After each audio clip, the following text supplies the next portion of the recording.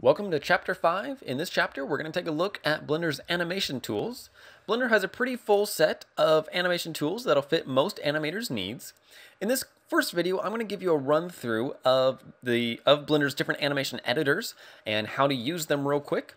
So using this sample file here that was animated by Bjorn Leonard through our or through CG Cookie's Animation Fundamentals DVD, we can take a look and see that we have a custom layout here. We've got our 3D viewport with our characters and such up at the top.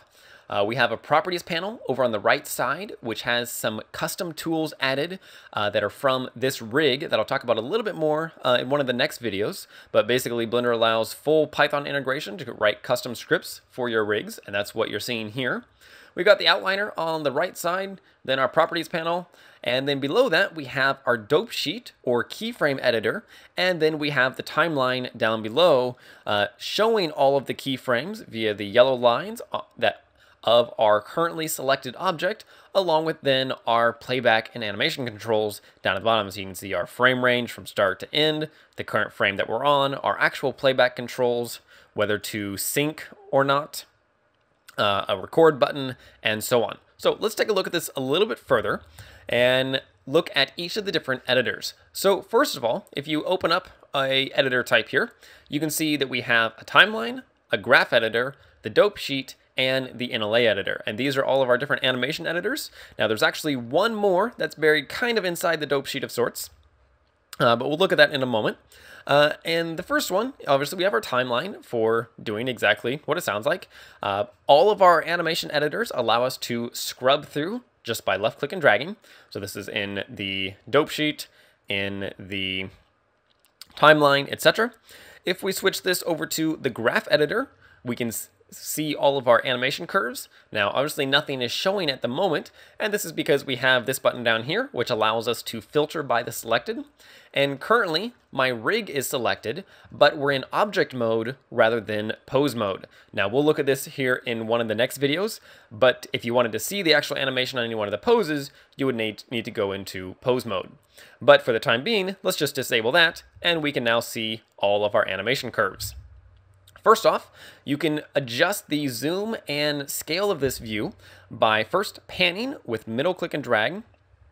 And then if you hold down control, middle click and drag, dragging to the left and right will allow you to stretch the view out and or stretch the view sideways. Dragging up and down will allow you to stretch it up and down. So it allows you to very quickly adjust how you want your, your view so that you can really get in and focus on the curve that you need. Next, on the left side, you can see a breakdown of all of our uh, animation channels, basically. So first of all, we have our Clive, which is the character's name, and it's the rig. And then we have the action that we're currently working on. As you can see, if we switch back to the dope sheet, you can see that we're currently set to the action editor mode.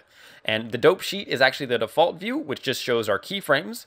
If we switch to the action editor, this then allows us to basically create all of our different animations.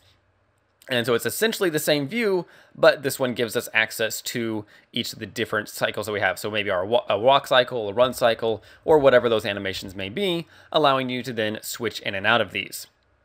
So going back to the graph editor though, we can see each of the different bones that are within this rig, such as the head, the ribs, torso, and so on.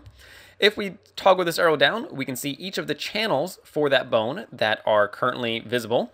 If we select one of those channels just by left clicking, it will highlight the curve in the 3D in the view. Now, obviously, it can be a little difficult to see here, but basically you can see that uh, dull colors represent unselected curves, bright colors represent the selected ones. If you want to hide a specific curve, such as maybe we don't want to see this one, you can just press the eye icon or the eye icon on the bone will hide all of those channels.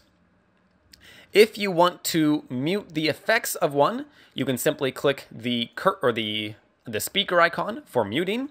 And then if you want to lock it, you have the padlock icon, fairly straightforward. So these are all of our different ones here. Uh, we can also just toggle all that down and we can see our different rigs. We've got the tail rig and the character rig.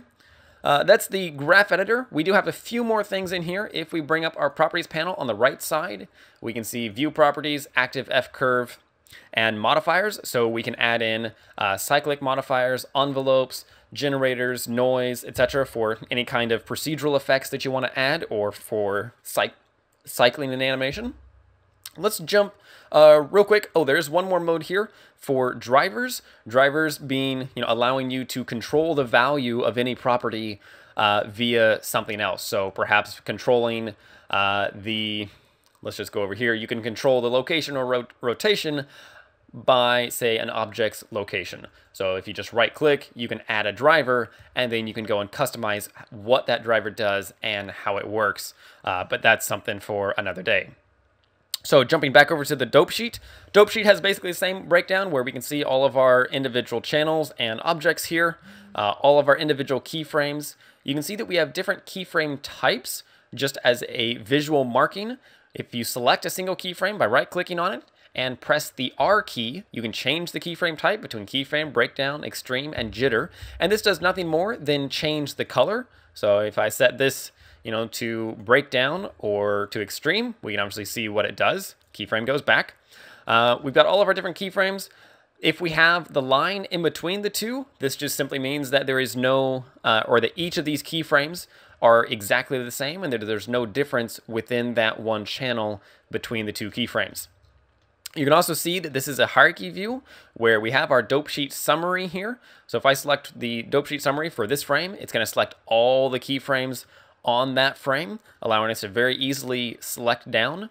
If you don't want to show the summary, you can simply disable it like so.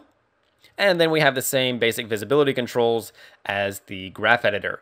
Now, one other thing that I didn't show you on the graph editor yet is how to change the actual interpolation type of the individual points.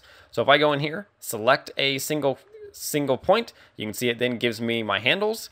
And if I then hit V, I can set the keyframe handle type between each of our various modes. You can also find these via the key menu here for interpolation and handle type, um, cleaning keyframes, smoothing keys, sampling, baking, etc. Gives you all your controls in there. Uh, and then the last editor is the NLA editor for our nonlinear actions or nonlinear animation for, you know, basically doing animation clips. Now, I'm not going to worry about covering any of this at all, uh, but it's there if you want to use it. And many of the animation clips, by the way, uh, first of all, you can enable this specific action by first unfreezing it, and then you can see your clip here.